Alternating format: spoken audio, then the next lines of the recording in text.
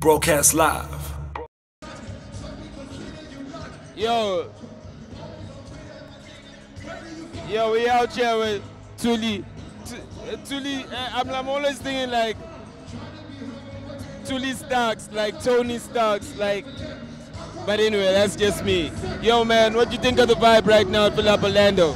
I mean, in terms of the come up artists that are in the industry right now, what we're seeing behind us is actually just so amazing. It's so amazing to see people build, and I'm here just to learn and just to soak up all the energy of South African hip hop. It's insane. I mean, right now, though, you know, I mean, it's been a big year for hip hop over the past few years. What do you think has been the biggest year thing this year in South African hip hop? Um, I think the turning point actually came from last year when we did um, fill up the dome. From that perspective, it was like the momentum kept on building. That's when you saw younger artists. That's when you saw come up artists like myself and everyone else coming up in the game. And there's a real presence in hip hop, but it's not just fluke anymore. It's actually a real industry that we're building. Hi, Maggie.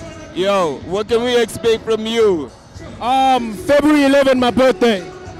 Alright, happy birthday in advance.